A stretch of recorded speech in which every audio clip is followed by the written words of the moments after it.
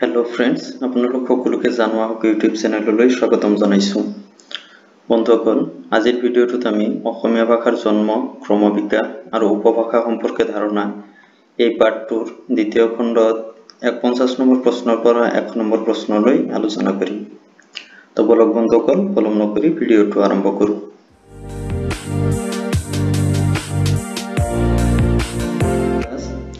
অসমীয়া সাহিত্যৰ সমীক্ষা সমীক্ষাত্মক ইতিবৃত্ত গ্ৰন্থখনৰ ৰচক কোন?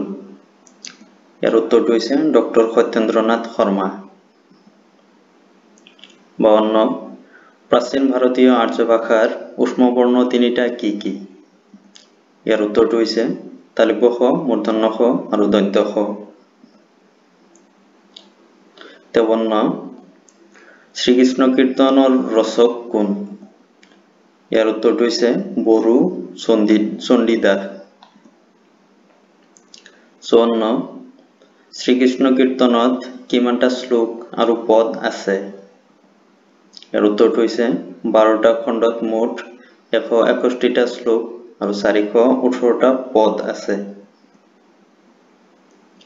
পঁচপন্ন শ্ৰীকৃষ্ণ কীৰ্তন কাব্যখনত ঘাইকৈ কোনটো ৰস দেখিবলৈ পোৱা যায়? ইয়াৰ উত্তৰটো হ'ব শৃংগাৰ ৰস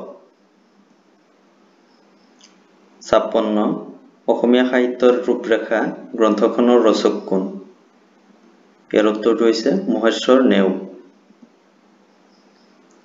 সাতাৱন্ন, ভাষা আৰু সাহিত্য, গ্ৰন্থখনৰ ৰচক কোন? ইয়াৰ উত্তৰটো হ'ব ডক্টৰ উপেন্দ্ৰনাথ গোস্বামী। আঠাৱন্ন চৰিত পুথি কোনে ৰচনা কৰিছিল? ইয়াৰ উত্তৰটো হৈছে শংকৰদেৱ, মাধৱদেৱ, হৰিদেৱ, দামোদৰদেৱৰ জীৱন চৰিত্ৰক কেন্দ্ৰ কৰি তেওঁলোকৰ শিষ্যসকলে ৰচনা কৰিছিল। ঊনষাঠি, চৰিত পুথিৰ ৰচনাকাল কিমান? ইয়াৰ উত্তৰটো হৈছে অষ্টাদশ শতিকা। ষাঠি, এটকা মহন্তৰ চৰিত্ৰ, গ্ৰন্থখনৰ ৰচক কোন? ইয়াৰ উত্তৰটো হৈছে গোবিন্দ দাস এষষ্ঠি বৰ্তমানলৈ প্ৰাপ্য আটাইতকৈ প্ৰাচীন অসমীয়া বুৰঞ্জী কোনখন ইয়াৰ উত্তৰটো হৈছে হেমচন্দ্ৰ গোস্বামী সম্পাদিত পুৰণি অসম বুৰঞ্জী বাষষ্ঠি কথা ৰামায়ণ কাৰ ৰচনা ইয়াৰ উত্তৰটো হৈছে ৰঘুনাথ মহন্তৰ তেষষ্ঠি হস্তিবিদ্যাৰ নব কাৰ ৰচনা ইয়াৰ উত্তৰটো হ'ব সুকুমাৰ বৰকাইত চৌষষ্ঠি, আধুনিক অসমীয়া ভাষাৰ বিকাশক কেইটা স্তৰত ভগাব পাৰি ইয়াৰ উত্তৰটো হ'ব তিনিটা। এক নম্বৰ অৰুণোদয় যুগৰ ভাষা। দুই নম্বৰ জোনাকী যুগৰ ভাষা। আৰু তিনি নম্বৰ যুদ্ধোত্তৰ যুগৰ ভাষা। পঁয়ষষ্ঠি আধুনিক অসমীয়া ভাষাত ৰচিত প্ৰথমখন ছপা পুথিৰ নাম কি? ইয়াৰ উত্তৰটো হৈছে ওঠৰশ তেৰ তেৰ চনত প্ৰকাশিত ধৰ্মপুস্তক। ধৰ্মপুস্তকখন বাইবেলৰ অসমীয়া অনুবাদ হয়। ছষষ্ঠি অসমীয়া ভাষাৰ অন্ধকাৰ যুগ বুলি কোনচোৱা সময়ক কোৱা হয়? ইয়াৰ উত্তৰটো হৈছে ওঠৰশ ছাব্বিছ চনৰ পৰা ওঠৰশ ছয়চল্লিছ চনলৈকে।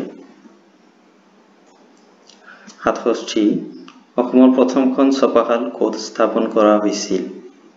ইয়াৰ উত্তৰ হৈছে ওঠৰশ চল্লিছ চনত শিৱসাগৰত। আঠষষ্ঠি অসমৰ পঢ়াশালী আৰু আদালতত কেতিয়া অসমীয়া ভাষা পুনৰ প্ৰতিষ্ঠা কৰা হয়? উত্তৰ হ'ব ওঠৰশ তেসত্তৰ চনত। ঊনসত্তৰ উষা আলোচনীখন কেতিয়া প্ৰকাশ পাইছিল? ইয়াৰ উত্তৰটো হৈছে ঊনৈছশ সাত চনত সত্তৰ ডেছক বেজবৰুৱাৰ যুগ বুলি কোৱা হয়। ইয়াৰ উত্তৰটো হৈছে জোনাকী যুগ। এসত্তৰ জোনাকী কাকতখনৰ প্ৰতিষ্ঠাপক সম্পাদক কোন আছিল? ইয়াৰ উত্তৰটো হৈছে চন্দ্ৰকুমাৰ আগৰৱালা বাসত্তৰ বাঁহী কাকতখন কেতিয়া প্ৰকাশ হৈছিল? উত্তৰটো হ'ব ঊনৈছশ ন চনত। তেসত্তৰ বাহী কাকতখনত কাকতখনৰ প্ৰতিষ্ঠাপক সম্পাদক কোন আছিল? ইয়াৰ উত্তৰটো হৈছে লক্ষ্মীনাথ বেজবৰুৱা। চৌসত্তৰ প্ৰথম অসমীয়া উপন্যাসখনৰ নাম কি? উত্তৰটো হ'ব ভানুমতী ওঠৰশ একানব্বৈ চনত প্ৰকাশ পাইছিল বিজুলী কাকতখনত খণ্ড খণ্ড হিচাপে। আৰু ইয়াৰ ৰচক হৈছে পদ্মনাথ গোহাঁই বৰুৱা। অৱশ্যে পূৰ্ণাংগ উপন্যাস হিচাপে লাহৰী ওঠৰশ বিৰানব্বৈ চনত পূৰ্ণৰূপে ছপা হৈ প্ৰকাশ পাইছিল। পঁয়সত্তৰ প্ৰথম অসমীয়া শিশু আলোচনীখনৰ নাম কি? ইয়াৰ উত্তৰ হৈছে লৰা বন্ধু। ছয়সত্তৰ বিজুলী কাকতখন কেতিয়া প্ৰকাশ পাইছিল? ইয়াৰ উত্তৰটো হৈছে ওঠৰশ নব্বৈ চনত। সাতসত্তৰ, প্ৰথম অসমীয়া ৰোমান্টিক কবিতাটোৰ নাম কি? উত্তৰটো হ'ব বনকুঁৱৰী। আঠসত্তৰ, বনকুঁৱৰী কবিতাটোৰ কবি কোন? উত্তৰটো হৈছে চন্দ্ৰকুমাৰ আগৰৱালা। ঊনআশী অসমীয়া চুটিগল্পৰ জনক কোন? ইয়াৰ উত্তৰটো হৈছে লক্ষ্মীনাথ বেজবৰুৱা। আশী আবাহন কাকতখন কেতিয়া প্ৰকাশ পাইছিল? ইয়াৰ উত্তৰটো হৈছে ঊনৈছশ ঊনত্ৰিছ চনত। একাশী ৰঘুনাথ চৌধাৰীৰ সম্পাদন ৰঘুনাথ চৌধাৰীয়ে সম্পাদনা কৰা আলোচনীখনৰ নাম কি? ইয়াৰ উত্তৰটো হৈছে জয়ন্তী। বিৰাশী অসমীয়া ভাষাৰ প্ৰধান উপভাষা কেইটা? উত্তৰটো হ'ব দুটা। এক নম্বৰ উজনি অসমৰ উপভাষা আৰু দুই নম্বৰ নামনি অসমৰ উপভাষা। তিৰাশী উজনি অসমৰ উপভাষাক কি কি ভাগত ভগাব পাৰি? ইয়াৰ উত্তৰটো হৈছে শিৱসাগৰীয়া আৰু নগঞা উপভাষা। চৌৰাশী নামনি অসমৰ উপভাষাক কেইটা ভাগত ভগাব পাৰি? ইয়াৰ উত্তৰটো হৈছে দুটা ভাগত। এক নম্বৰ গোৱালপৰীয়া আৰু দুই নম্বৰ কামৰূপীয়া উপভাষা। পঁচাশী কোনটো উপভাষাক অসমৰ মান্য ভাষা হিচাপে স্বীকৃতি দিয়া হৈছে। ইয়াৰ উত্তৰটো হৈছে উজনি অসমৰ শিৱসাগৰীয়া উপভাষাক ছয়াশী অসমীয়া ভাষাৰ উপভাষা সম্পৰ্কে প্ৰথম গৱেষণা কৰা পণ্ডিতজন হৈছে ইয়াৰ উত্তৰটো হৈছে উপেন্দ্ৰনাথ গোস্বামী। সাতাশী গোৱালপৰীয়া উপভাষাক আৰু কি কি নামেৰে জনা যায়? ইয়াৰ উত্তৰটো হ'ব ৰাজবংশী ভাষা আৰু দেশী ভাষা অষ্টাশী কাছাৰ অঞ্চলৰ স্থানীয় লোকসকলে ব্যৱহাৰ কৰা ভাষাটো কি? ইয়াৰ উত্তৰটো হৈছে কছাৰী ভাষা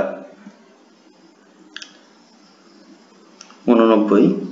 কছাৰী ভাষাক কছাৰী উপভাষাক আৰু কি নামেৰে জনা যায়?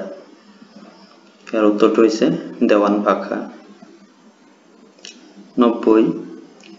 বিষ্ণুপ্ৰিয়া ভাষা কোন জিলাত প্ৰচলিত হৈ আছে? ইয়াৰ উত্তৰটো হৈছে কাছাৰ জিলাত। একানব্বৈ। অসমীয়া ভাষা আৰু উপভাষা গ্ৰন্থখনৰ ৰচক কোন?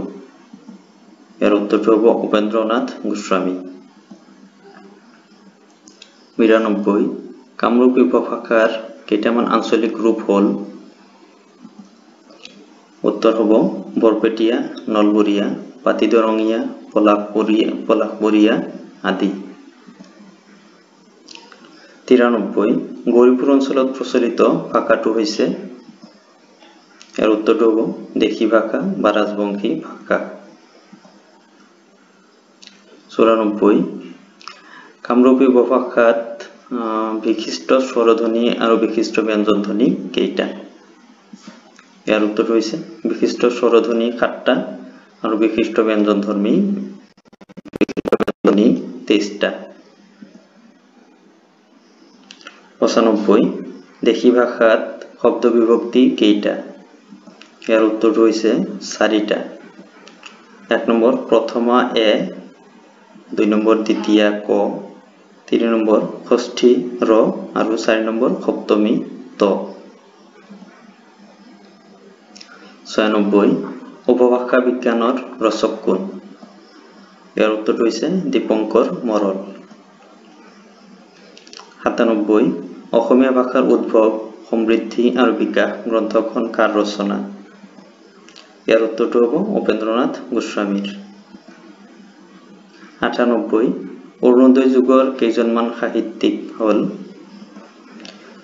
উত্তৰটো হ'ব Hemchandra Barua Gunabhiram Barua Anandaram Dhekial Phukan Nidhiram Farwell Nathan Brown আদি। নিৰানব্বৈ জোনাকী যুগত ত্ৰিমূৰ্তি বুলি কাক কোৱা হয়? ইয়াৰ উত্তৰটো হৈছে চন্দ্ৰকুমাৰ আগৰৱালা, হেমচন্দ্ৰ গোস্বামী আৰু লক্ষ্মীনাথ বেজবৰুৱাক আৰু এশ নম্বৰ প্ৰশ্নটো হৈছে ভৱানন্দ দত্ত হেম বৰুৱা কোন যুগৰ কবি? ইয়াৰ উত্তৰটো হ'ব যুদ্ধোত্তৰ যুগৰ কবি। তো বন্ধুসকল আজিৰ ভিডিঅ'টোত এইখিনিয়ে যদি এই প্ৰশ্ন উত্তৰখিনিৰ ওপৰত আপোনাৰ কিবা ক'ব লগা আছে, তেন্তে প্লিজ কমেণ্ট কৰি জনাব। আৰু যদি ভিডিঅ'টো ভালো লাগে লাইক কৰিব, আপোনাৰ বন্ধু বান্ধৱীসকলৰ লগত শ্বেয়াৰ কৰিব। আৰু যদি এই চেনেলটো ছাবস্ক্ৰাইব কৰা নাই, তেনেহ'লে প্লিজ ছাবস্ক্ৰাইব কৰি কাষতে থকা বেল আইকনটো প্ৰেছ কৰিবলৈ নাপাহৰিব। ধন্যবাদ, জয় আই অসম।